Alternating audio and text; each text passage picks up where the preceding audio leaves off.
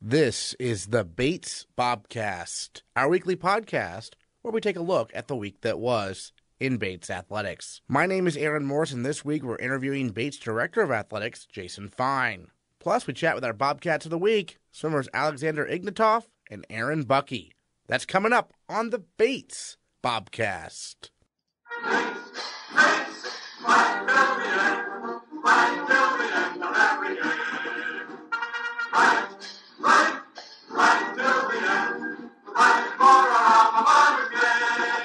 The women's and men's swimming and diving teams took on Ivy League opponent Dartmouth Friday at Tarbell Pool. While the Big Green prevailed overall, the Bobcats impressed, with the women's 400 yard medley relay and the men's 200 yard freestyle relay taking first place. On top of that, senior captain Alex Bedard won the 200 yard breaststroke. Meanwhile, junior Alexander Ignatov finished third in both the 200 yard individual medley and the 500 freestyle. His 500 time was his fastest for Bates in season of his career. For his efforts, Alexander Ignatov is our male Bobcat of the week. First of all, you know, the meet against Dartmouth, it's a home meet against an Ivy League opponent. That's not something that you've done before here at Bates. What was that experience like? Uh, I thought it was a fantastic experience to get to race a Division One team. Um, we originally planned to race them in a couple months when we were up at Middlebury, um, but based on our scheduling change, um, they actually came down to swim us um, before they go to um, on their training trip. So it was a great opportunity to race some really fast swimmers, um, and we saw that we could actually do it considering that the women won the first event of the meet, which was the four medley relay, and I think that really set the tone to the fact that we could actually race these guys and maybe even beat them too. You're normally a distance swimmer, but one of your events against Dartmouth was a 200 IM. So how'd that go? Uh, the 2 IM went very well. Um, personally, it was one thing, one of my best in season 200 IM times, um, unsuited with no tech suit on, mm. um, and it was really cool getting to race some of the um, uh, some of these really fast Division One swimmers. Um, the top guy got a new pool record, so that was cool to see that happen. Uh-huh. Um, but me and my fellow Bobcat swimmers did have some really good competition uh, in that event, and I was beaten by my fellow um, am training partner Jack Johnson. So shout out to him. Awesome. And then um, the other event you you got third in was a 500 freestyle, right? That's correct. 500 is a little bit more of my forte yeah. as a as a distance swimmer, um, and that was a really cool race because the person who won also set a new pool record as well. He actually swam my best time, so it was interesting to see um, uh, that type of speed uh, this early in the season. Um, but I was in second for most of the race, but then um, a, a, uh, Dartmouth swimmer came over to my to my right and the next lane, and he gave me a little bit of a race for the last 50. Um, he unfortunately outtouched me by I think it was 0.2 or 0.3, um, but nonetheless, it was again fantastic racing opportunity. Yeah, so in a race like that, where it's so close between you and another swimmer who's right next to you, how much of a sense do you have of his presence? Um, so I typically breathe to my left, and he was in um, the lane, the lane to the right of me from the block side.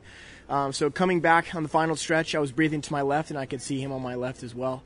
Um, so when it gets to the flags, you just put your head down, spin your arms, and just hope for the best. Um, unfortunately, he won the race, but uh, I still congratulated him, and it was very cool um, to really have a race come that close to the end.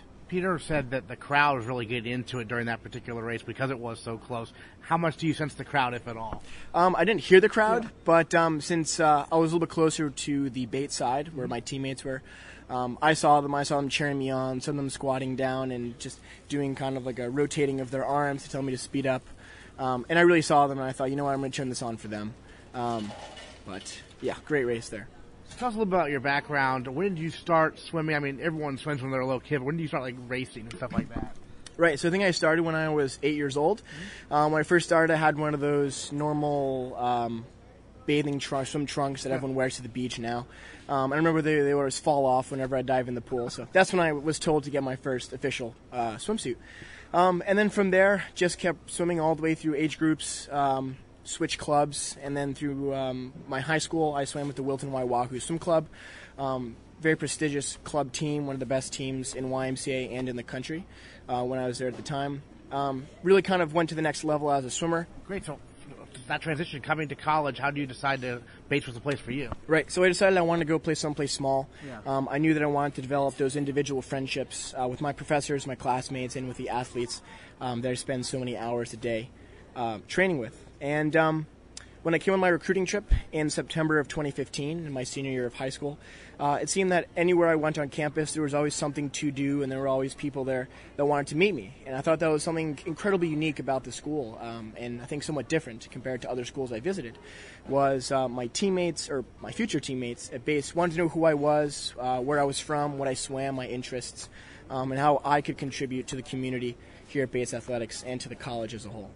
Now, as a junior, how have you seen your swimming kind of develop over these few years? I mean, were you a distance swimmer coming in, or, or did that change here, perhaps? I was a distance swimmer coming in. Yeah. Um, primary, primarily was distance. Yeah. Um, but one of the things that um, Peter Casares, our head coach, and uh, Bill Wallace and Vanessa as well, um, is they say you're only going to get better if you change. And um, I found great success in switching over to maybe a little more stroke and some IM. Um, and I've seen some great success there. Um, I've seen a lot of my teammates get a lot faster by making changes, and I thought I should do the same as well. Um, they motivate me to change, and I hope that I motivate them to change and get better as well. Great. So the IM, what strokes are those? It's um, butterfly, backstroke, breaststroke, freestyle, so all four strokes. Oh, okay. um, so in a 200 individual medley, it would be a 50 of each stroke, and then a 400 individual medley would be 100 of each stroke. Um, and I think what's so great about it is there's just so much opportunity to change and to get better um, with each stroke. And I know that um, I've worked uh, a lot with um, Coach Wallace, who's my primary coach over in the distance lane, um, on increasing the tempo in my backstroke, and it's really helped a lot. Um, and I'm pretty proud of that change. I know butterfly can be really tough, can't it? Butterfly can be pretty tough, um, but you know when everyone when everyone's in the race, um, you know that you're kind of um, averaging the pain with everyone else. Yeah. Especially in practice, um, when all of my IM training partners and um, flyers are doing the same thing, um, it just motivates me to change, do something better, um, and to get up and compete and race with them in practice. So I understand Friday morning, bright and early, flying to training trip, right? It Uh, gets going. Saturday morning. Saturday morning. Yeah, Okay, Saturday okay. morning. Friday we'll um, have some exams last day. Okay. Um, but Saturday morning, yeah, well, a lot of us are getting up early. We're all going to fly down to Florida. Um, I think the temperature down there is going to be in the high 70s, so it'll be a nice, um, much warmer climate than it is up here right now. You, you do your training outdoors, is that right? That's correct. Yeah. Yep. We have two practices a day, morning and afternoon, usually around two hours each. Um, and then we spend the time in between those practices just relaxing on the beach, uh, walking around Deerfield Beach, um, or just exploring in general. So, um, and training trip is pretty awesome. For one, it's in a much warmer climate, and we get to spend some time on the beach, um, which is obviously something you can't do here in Maine right now. Um, but since we're spending so much time together, it's a great bonding experience too. Um, I get to meet a lot of the uh, the freshmen a little bit better, um, and even get to know some of my upperclassmen and kids in my own class as well. Um, since we're, I mean, we're all doing the same training, we're all training hard, motivating each other, um, and then we get to relax, sit next to each other on the beach. I was going to say because it is such a big team. It, this training trip probably it's very helpful in terms of actually ge- getting a lot of time with different people you maybe not normally see a lot. It is absolutely, and um, the rooms are normally organized around three people per room, and um, it usually ends up that all three people are from different classes. So in that way, um, obviously the people you're living with, you get to know them pretty well. Um, but training trip is interesting. Maybe you'll be sitting next to someone on the beach they've never talked to, or you're in a lane with someone, or sitting by the pool, and you just have a little chat with them, get to know a little bit more about them. Um, so we bonded through that, and of course bonded through the hard training as well. Awesome. So last question for you. You know, after you return from training trip, you, obviously the meets you know start to heat up in terms of more and more of them before NESCACs and NCAA's. What are some goals you set in your mind maybe for the rest of the season? Well, I think some of the biggest goals, maybe some short-term goals, I should start with first. Um, we still have a couple more dual meets left. Bowdoin and Colby, uh, very big. Uh, I remember my freshman year, we were CBB champs. Um, last year, we were not. We unfortunately were not. Um, so uh, we have a rejuvenated freshman class, uh, probably one of the biggest I think we've ever had. Um, and there's a lot of talent there, and it's really great to see them. Um, I mean, sometimes they're the ones winning some heats at some of the past meets we've had, or they're getting second or third, and they're beating some of us older guys. So it's really cool to see them race fast. Um, kind of reminds me of when I was a freshman, um, and they kind of pushed me to go a bit faster as well. Um, and then for the long term, of course, NESCACs, uh, the whole team gets to go, uh, most of the team, and um, we're going to see how well we can do. Um, I think our best finish has been fifth place. Um, of course, NESCACs would like to beat our main rivals, Colby and Bowdoin, uh, try and maintain that from CBB, um, and see how many people we can get to nationals. Um, and you know, NESCACs is so great because everyone tapers, everyone puts on a suit, and everyone's going fast. And we start off the meet with the 800 free relay on Thursday night, which is somewhat of a tough event. Um, but people really get up and they race for it. And I think oftentimes coming out with good swims on the first night really sets the tone for everybody. Um, you see your friends go fast, and you know what? You think you can go fast as well, and that's usually what happens. All right, Alexander Ignatov, Male Bobcat of the Week. Thanks so much. Great, thank you so much. On the women's side of things, sophomore Erin Bucki anchored the winning 400 medley relay with a lifetime best split for the Bobcats. She also took third in the 200 yard backstroke and fifth in the 200 yard IM. For that, Erin Bucki is our female Bobcat of the week. A meet against an Ivy League opponent, Dartmouth. What was that experience like for you? Um, you know, them coming to Tarbell Pool and taking on a Division One program. Um, yeah, it was really exciting. Um, this is the first time they've ever come here, so it was a good um, chance for us to kind of race a D1 Ivy League school, and our team did super well against them. Yeah, everyone kind of stuck in there, like held their heads up, and really like fought to the end, and it was very exciting. Take us through the opening race of the whole meet and a winning race for Bates there, the 400 yard medley relay. Yeah, so the medley was first. Um, and then I was last on that relay. Um, but the I guess what like kind of got me mostly excited for it right off the start was like the three other girls that were right in front of me. So first it was Izzy, and then um, Emmy and Caroline. So they all swam like super super well. So there's no way I would have been as excited or had like my heart rate up as, as it was without them. But yeah, it was a great start to the first, um, like the, the, entire meet against them, and great to kind of get the to win it and then start like set the tone for the rest of the meet. Uh, was the team in first when you jumped in the pool? Um, yeah, or it was close. So um, yeah, so the backstrokers were first, and it was all pretty even, and then next was breaststroke. So Emmy had a great hundred breaststroke and really kind of um, like got us ahead and got us really um, really like up and running and excited for the um, rest of the race. And then Caroline kind of held on, and then I was hoping of not messing it up and um, kind of finishing strong. Do you typically anchor relays? No, usually in, in the medleys I'll swim backstroke, so it was kind of like new for me to um, anchor. So I was really nervous, but um, I guess it turned out good in the end. What was your reaction when you touched the wall and saw you were first? Very happy. Um, very happy. You can kind of see, especially in freestyle, like all um, your team on the sideline. So I could kind of see them all like jumping up and cheering um, for me during the race. So it was like nice to kind of see their reactions and see the boards at the end afterwards. Terrific. So you're a sophomore, originally from Minnesota. So what attracted you to come out east and come to Bates? Um, well, I knew I wanted to swim in college and I knew I wanted to go far, but actually my older sister swam at Williams.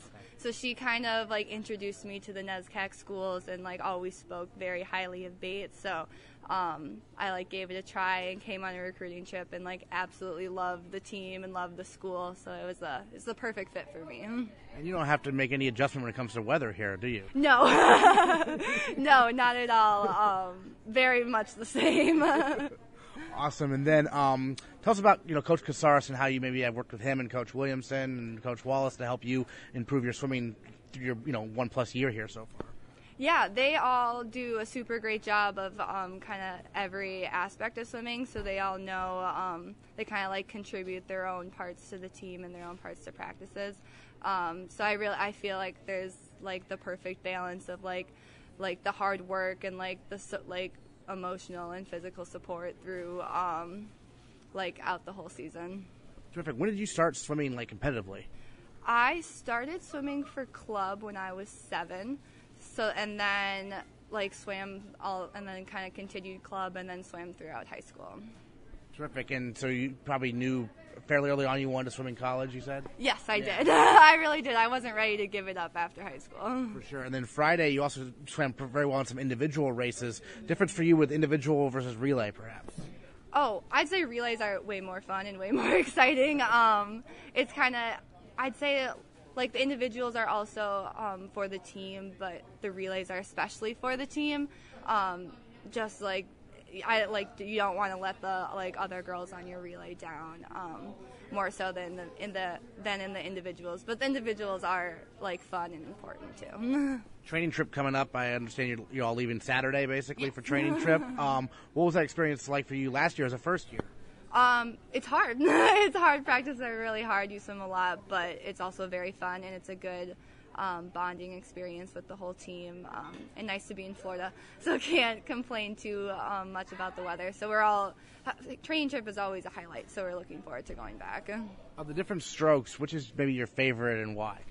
My favorite is backstroke. Okay. I guess I could say because you can breathe the whole time. um, True. Yeah. I. Uh, yeah, I guess that's the one that I like kind of clicked with when I was younger and stuck with it all through. Um, yeah, so I guess my I guess my favorite's the 200 back. You don't have to sprint too hard right at the beginning.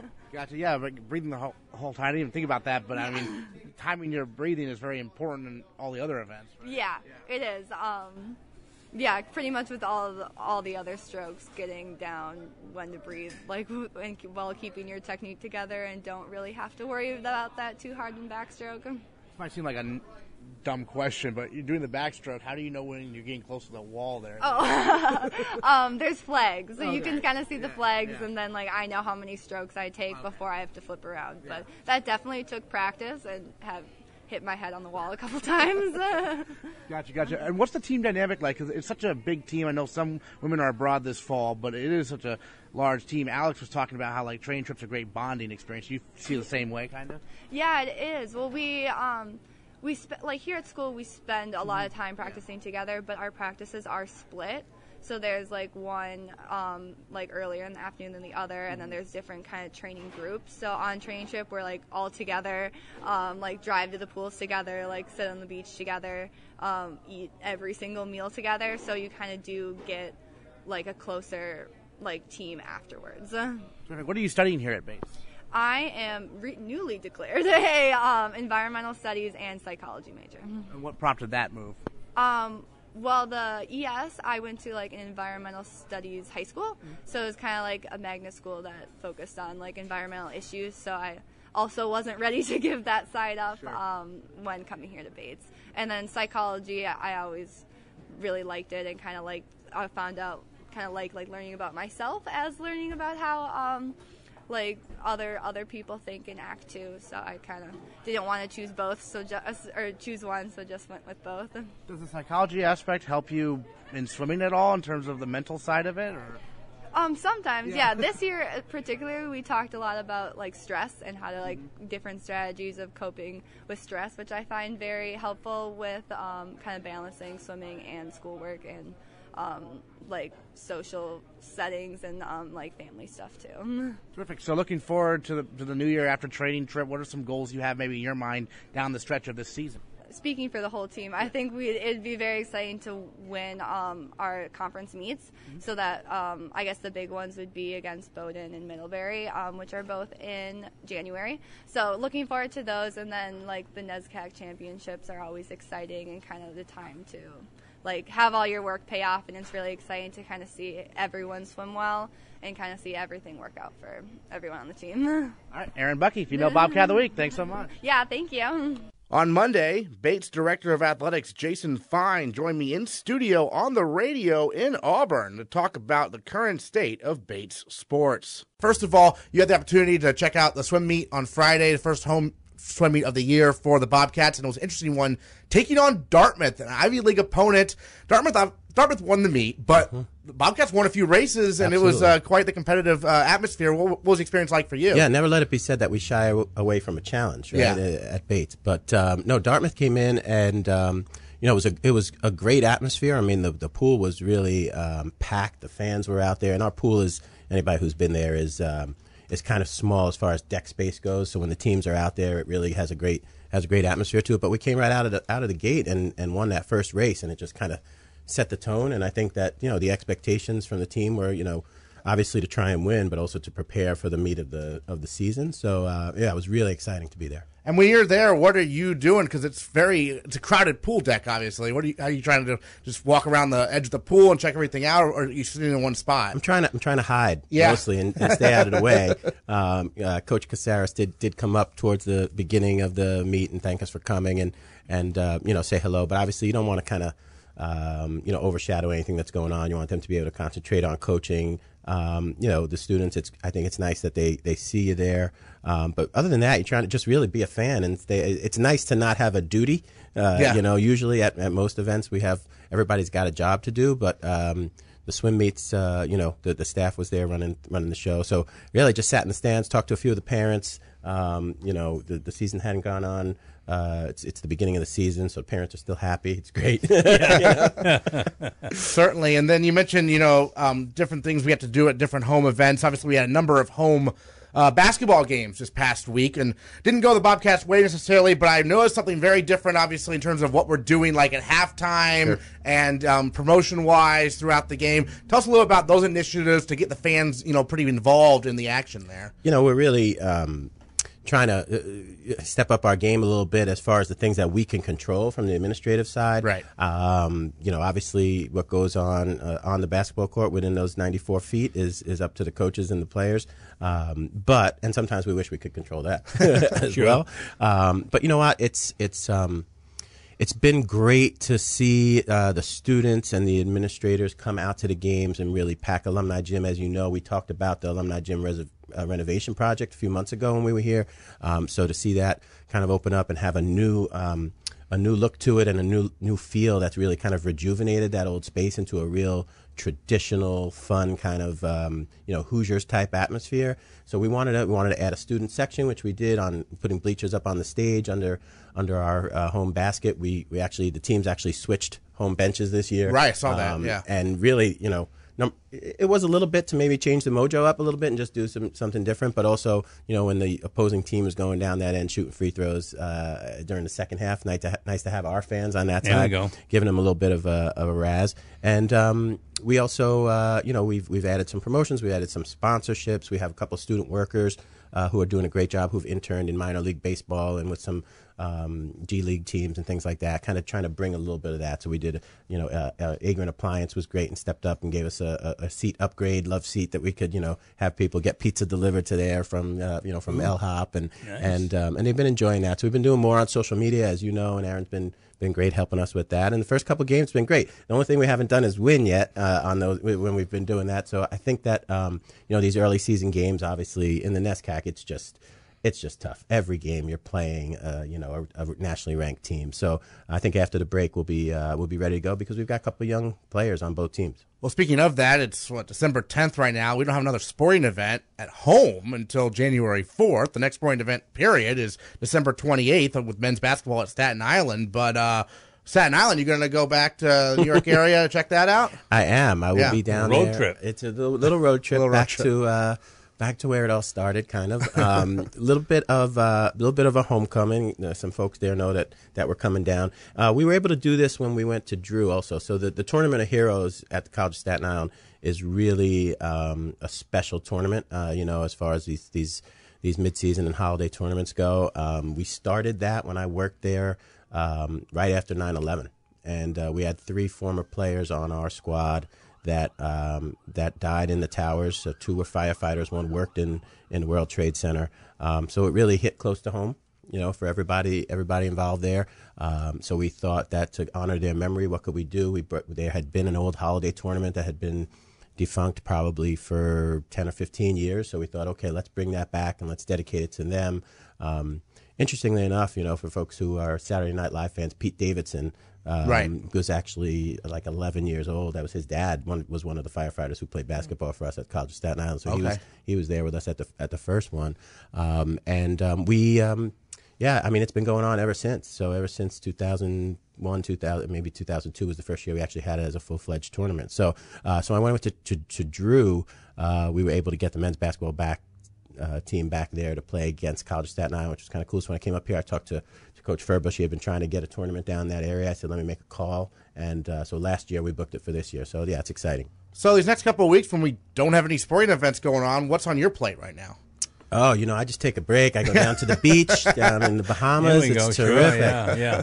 Uh, not exactly. no, not exactly at all. Um, I'll tell you what. First of all, let me say I wish we did have sporting events going on. You know, these seasons are, are so short in the NESCAC, and we we do all these all these meetings and all these initiatives and all this stuff to try and get to the point where we're um, you know, where we are playing at, at night and on the weekends. But um, no, there's a ton of work to do right now, just as far as wrapping. We've, we've been wrapping up the fall seasons, and, Yeah. you know, just administratively meeting with the coaches. And right now, we're heavy into just the recruitment season, and we're we're just about wrapped up with early decision, uh, the first round of early decision, and heading into the second round. And as you guys know, we have a new football coach, we have a new men's soccer coach.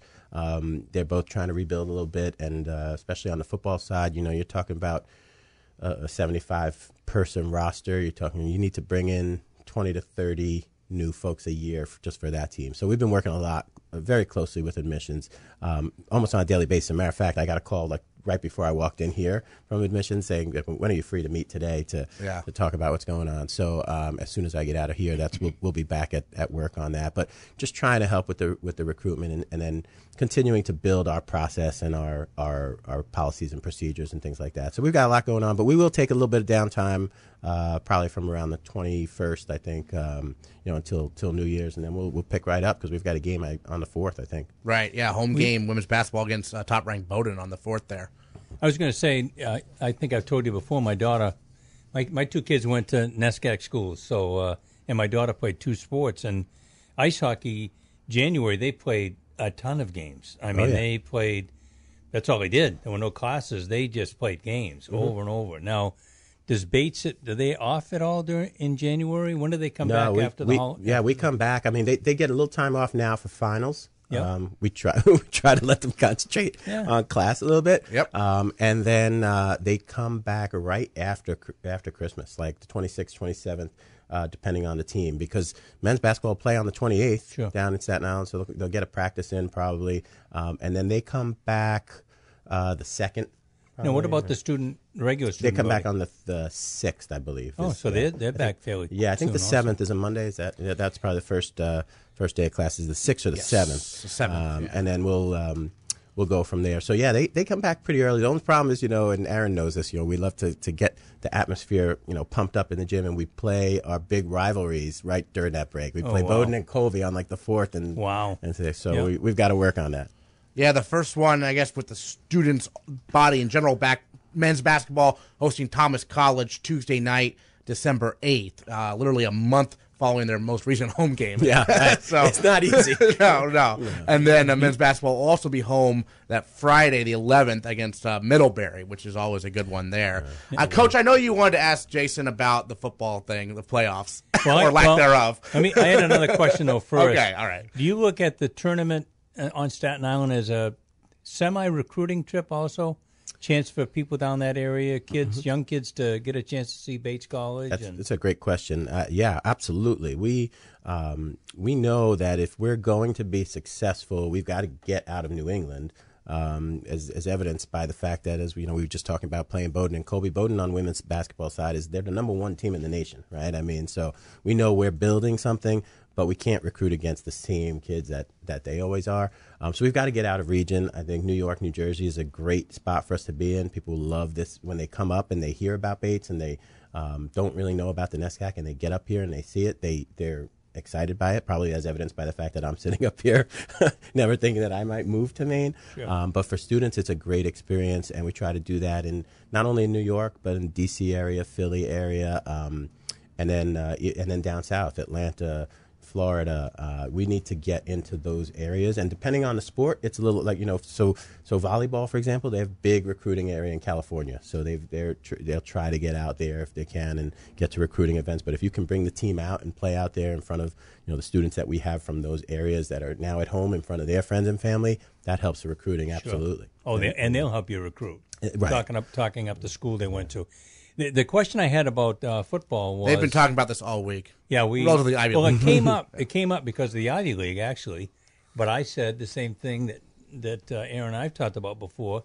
NESCAC doesn't do it either, and that is in the other sports, basketball being an example.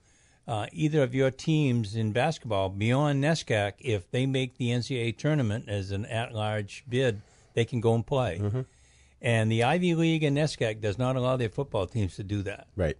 Is there a particular reason for that, or Um, you know, it's a great question. Uh, as someone who is still fairly new to the conference, um, I don't have a great answer.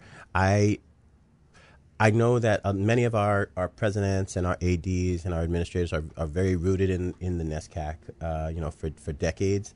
Um, and there, this you know dates back to the time obviously when we didn't go to the NCAAs in any sport, uh, and then they started to kind of open the gates a little bit. And as we got more competitive and more competitive, you see the teams that do go, they end up getting three, four, five, six teams in, we end up getting you know, many teams ranked in a lot of those sports. That hasn't really translated to football so much. Um, you know, as far as competitively, I, I don't know. Um, you know, I'm sure there's a little bit of a concern that, you know, the, the competition within our conference, since we only play within the conference throughout the year, um, would be a lot different as we went out. And it also puts extra strain on class time. You know, missed classes is, is super important for, for our entire league. So, um, you know, I know the coaches have been have been talking about it, and they'd be in favor of it. Um, I think anything that, that gets us out there um, nationally, um, you know, to be recognized and to be out there with the rest of the, of the country has been good for us. Um, you know, but again, being fairly new, uh, we haven't really delved too much into that. But I know that the coaches and players talk about it, um, and and you know what where we may end up with it, I'm not sure. One of the one of the reasons it came up is what's happened at, at Orono with Maine going uh, to the to the playoffs, hosting a game, and then winning a game on the road, and now going and playing in the semifinals, it brings incredible notoriety to the school and those pockets of places. People say, "Wow, these, these this is a pretty interesting team," mm-hmm. and you know all that stuff that you want as an administrator. Sure, uh, that's what that's how we developed the, the discussion about it. We said, "Wow, the Ivy League doesn't go," and I knew that NESCAC didn't go. Yeah. It's uh, um, y- you know it's interesting because I think if you if you asked uh, you know a hundred people uh, you know where the national rowing champion came from in women's rowing you know and they didn't really know the sport, I I doubt they would say Maine right and certainly not not Bates College.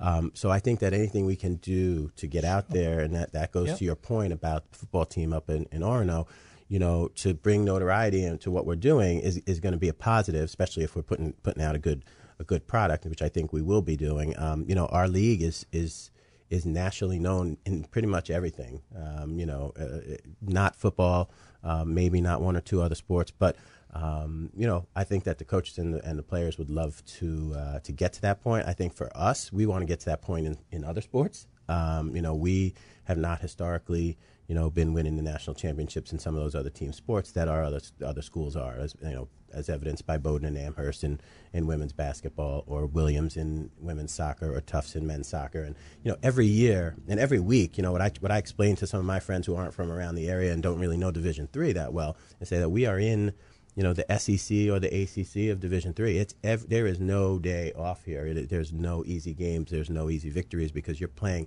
nationally ranked teams every week. So for us, you know, football, our first, you know, uh, mission, I would say, for football is not necessarily to get us to the NCAAs. It's to get us, you know, more competitive in the league. Sure. But for our other sports that do have the opportunity to go, we need to get more competitive there so that we're challenging these other teams as opposed to just kind of helping their strength of schedule.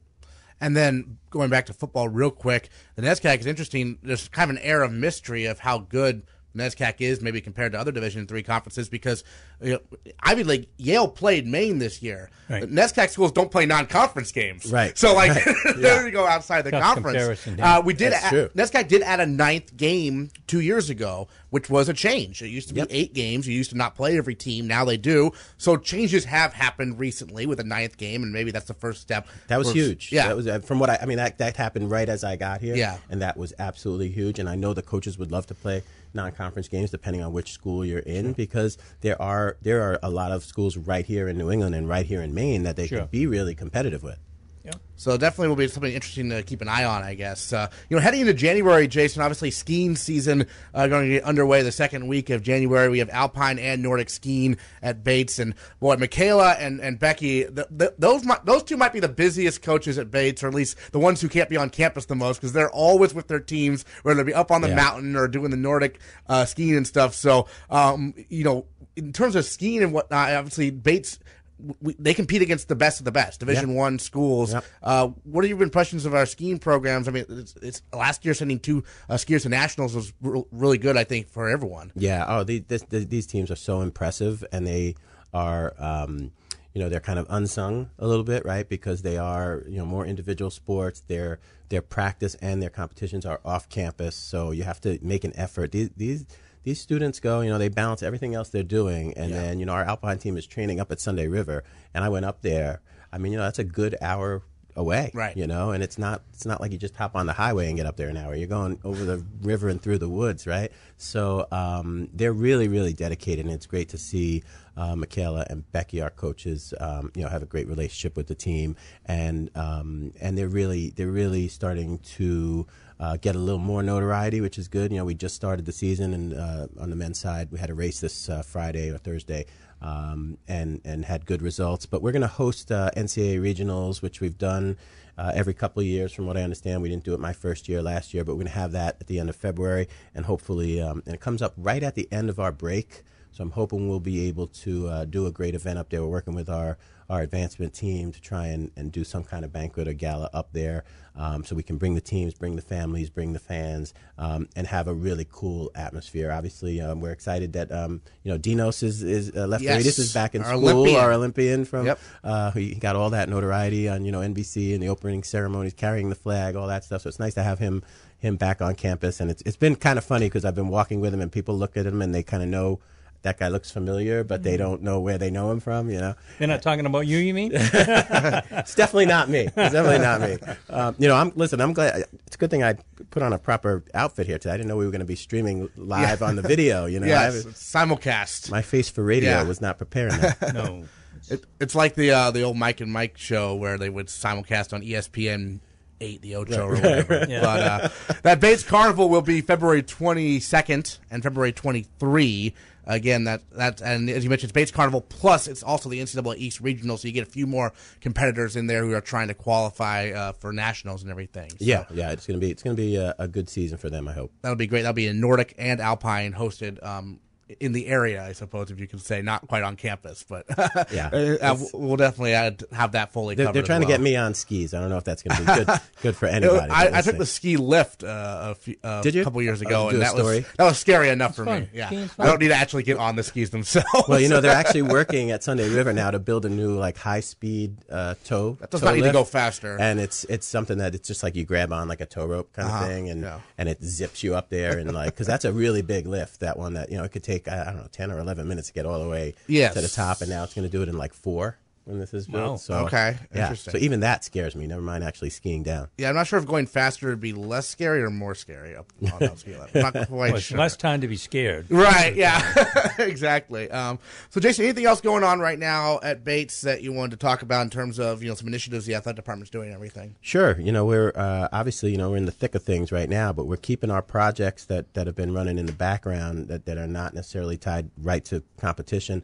Um, you know, we're continuing to renovate spaces. We're uh, we're actually going to renovate alumni gym. I'm sure you've seen that that started to uh, you know some of those old old plaques have started to come off the wall. People going, where are those plaques going? But we're di- oh. digitizing all of the uh, you know. Um, senior citation kind of hall of fame kind of stuff and we're we're working on a new project there and you know coach you talked about recruitment and um, you know for us where we kind of renovate our spaces and in what order really works towards like our recruitment you know strategy. So that alumni gym is where we meet all of the new recruits all the new families that come in. There's a little lounge area there where they sit to, to greet us. So i think that's important that that space say hey beyond these doors something great's happening and we've got the new gym and we've got the new you know, renovated Thompson room and some of the locker rooms and things like that. So we're looking at capital improvements really, really heavily right now. Um, it's a matter of where do we prioritize and where do donors come from. But um, you know, we're we're looking at pretty much either renovating or replacing you know a lot of our locker spaces, our fitness centers, our um, weight room, our our sports medicine space, um, because sports medicine and, and athletic performance has has changed so much since those facilities were built. And it's not just about having a weight room or a fitness center with cardio, you know, equipment in it. It's about having performance space where you can work and do total, you know, kind of cross training and and and, and be fit. So uh, so we're looking at that. I wrote a the, the coach at Connecticut College asked me to write something to the athletic director and the president uh, because I'd been to all the NESCAC schools and and you know kids decide where to go to school for a lot of different reasons, but the one constant in NESCAC is they're all good academic schools. So why does one distinguish itself from another? I mean, it's location, it's but it's facilities. You know, if you if you've got good facilities and kids feel really good about being on campus or in in the facilities, in the gym, in the locker rooms, um, which is what a tour is all about. You go mm-hmm. around and see all those things. They say, you know, I could, I can feel this. I can see myself here, and it does make a difference. It absolutely it, does. It really does. And you know, uh, Coach, it's a great point. And to be honest, um, you know, we um, we're behind in that in that area. You know, as far as the re- uh, some a lot of the rest of the league, and we know that, and we recognize it. And now it's a matter of coming up with a strategy. Uh, you know, to to to upgrade those facilities. But we also know, you know, we don't have uh, the endowment of some of the other institutions. We don't have the donors of some of the institu- other institutions. So we need to be a little more creative with what we do. We talk to the coaches about that a lot as well because when a, when a recruit does come on campus, um, you know, uh, they they they may be wowed by the feel of an alumni gym or or the way that some of our kind of older facilities you know speak to them but really the coaches you know and that relationship that they have sure. with the coaches and the relationship they have with the folks when they get on campus is is you know we have to we have to work a little bit harder and the truth is I've said this to the coaches and I've said it to to recruits when they've asked me to meet with them and their families you know it's it's not it's not hard to you know, you could get used to pretty quickly to, you know, like, oh, I can live in Brunswick and walk around Bowdoin. Like, oh, yeah, that's kind of easy. You know, we always say you got to be a little more gritty and a little tougher to kind of, kind of, kind of cut it in, in the Lou, right? In, in Lewiston, as we call it. So I think that um, the relationship that our coaches build with those recruits, going out there and looking for, you know, students that really appreciate coming to a school like Bates and seeing what Bates has to offer and not saying, oh, I'm not growing up saying I want to go to a NESCAC school and being, you know, what we would call an NESCAC shopper, and then saying, okay, well, I'm going to try. So, because then if you go and just look at, at the house, yeah, and you go, okay, well, I'll pick that one first. I'll let's see if I can go Williams, Amherst, whatever.